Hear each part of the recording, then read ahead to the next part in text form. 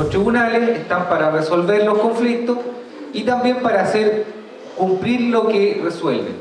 Eh, nos hemos sumado a, todas las actividades que podemos en materia de difusión de la labor del Poder Judicial y también en esta ocasión para tratar un tema tan importante como es el bullying en los colegios. Fue una actividad mm, en que pudimos entregar conocimientos básicos sobre la estructura del Poder Judicial, eh, explicar un poco cuál es nuestra función dentro de la, nuestro Estado de Derecho y explicar también eh, cómo los tribunales ejercen sus funciones día a día.